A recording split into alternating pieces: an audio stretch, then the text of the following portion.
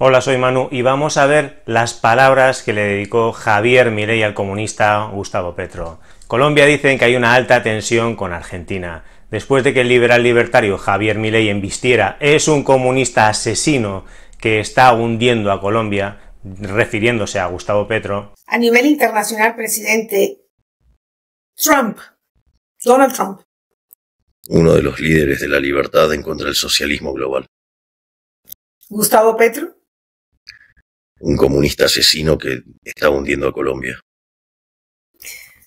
Gabriel Boric. Alguien que tiene las ideas incorrectas desde mi punto de vista.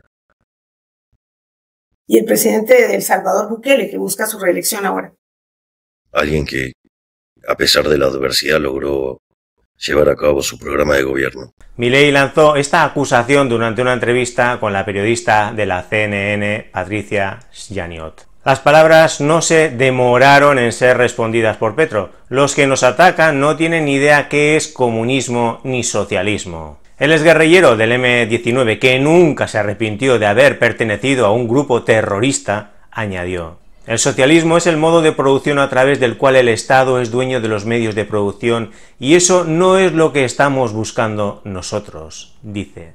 Nosotros creemos y queremos que los medios de producción estén en manos del pueblo, no del Estado, y digo yo, mentira. Queréis poner a vuestros amiguetes en las grandes empresas para tenerlas controladas, queréis controlar todo, os gusta controlar absolutamente todo a los socialistas. También el gobierno de Colombia sacó un comunicado, un comunicado de prensa sobre las declaraciones del presidente de la República de Argentina. En nombre del Gobierno de Colombia, el ministro de Relaciones Exteriores presenta su más enérgica protesta por las irrespetuosas e irresponsables declaraciones del presidente de la República Argentina. Señor Javier Milei en contra del presidente Gustavo Petro en el desarrollo de una entrevista con la periodista Ángela Patricia Janiot en el programa ¿Qué pasó con lo que pasó? emitido el 25 de enero. El gobierno de Colombia rechaza enérgicamente esta declaración, que atenta contra la honra del primer mandatario, quien ha sido elegido de manera democrática y legítima.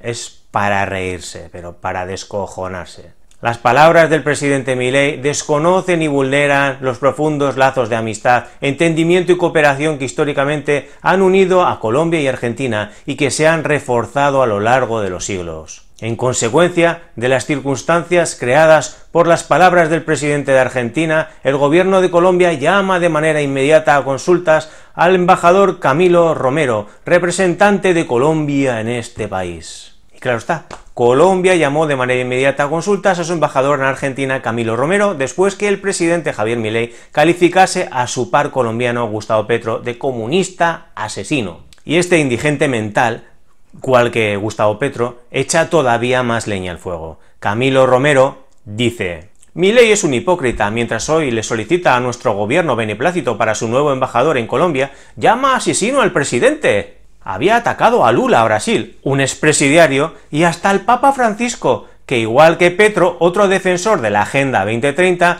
una agenda que va en contra de la humanidad. Podemos pensar distinto, dice, pero la región y la hermandad histórica de nuestros pueblos deben estar por encima de las diferencias. Eso se lo podías haber dicho anteriormente a tu amo, el aprendiz de dictador Gustavo Petro, antes de que hiciera innumerables declaraciones en contra de Javier Milei.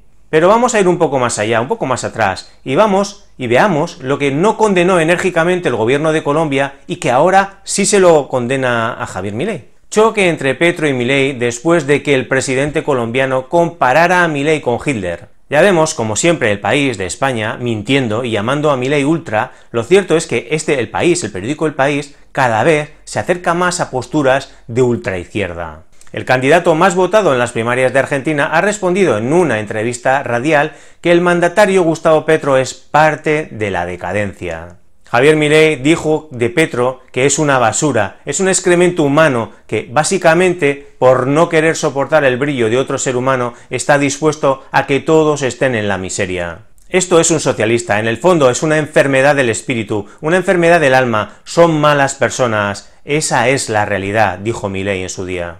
Antes de seguir mirando qué tipo de demente es Gustavo Petro, veamos lo que dice. Cuando los pobres dejan de ser pobres y tienen entonces se vuelven de derecha. Y cuando los pobres dejan de ser pobres y tienen, entonces se vuelven de derecha. Y viene el problema, porque si es dejar de ser pobre para vivir Para como en, consumir. como en Miami, Sí. se acabó la humanidad. ¿Qué hacen esas personas que dejan de ser pobres? Comprarse un carro. Sí, comprar. Y ahí se acaba la humanidad. Prefiere que la gente esté en la miseria y no quiere que la sociedad progrese, porque claro, los pobres votan a la izquierda, pero si mejoran su condición social, casualidad, votarían a la derecha. Por lo tanto, para Petro es mejor que se sigan manteniendo pobres. Es muy triste como piensan los socialistas y los comunistas, prefieren sociedades pobres y miserables engañando al pueblo para que ellos todavía sigan en el poder. En España, gracias al socialista Pedro Sánchez, hemos caído a ser de los cuatro países más pobres de la Unión Europea. ¡Qué maravilloso es el socialismo!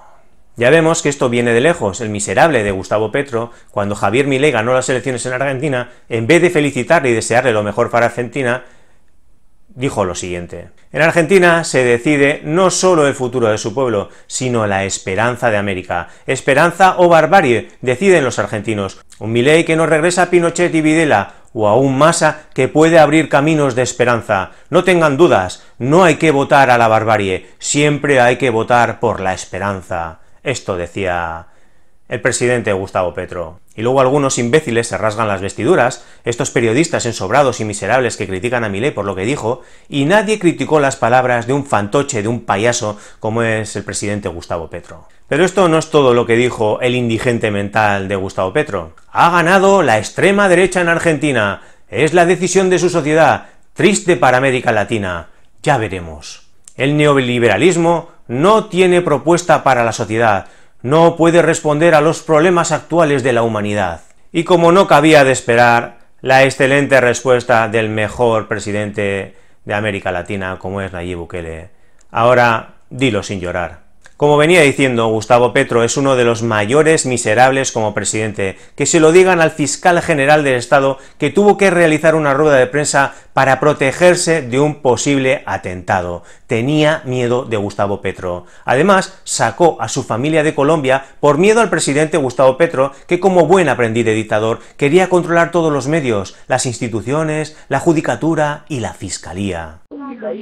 Y una respuesta del fiscal general de la Nación, Francisco Barbosa, a Gustavo Petro, pues el mandatario manifestó que es el jefe de Estado, razón por la cual sería el jefe también del fiscal. Porque es una declaración que atenta contra la autonomía y la independencia de la rama judicial colombiana. Es una advertencia que le hace al fiscal general de Colombia de que si no obedezco, seguramente tendré consecuencias. Barbosa manifestó que las declaraciones de Petro son a su parecer de un dictador.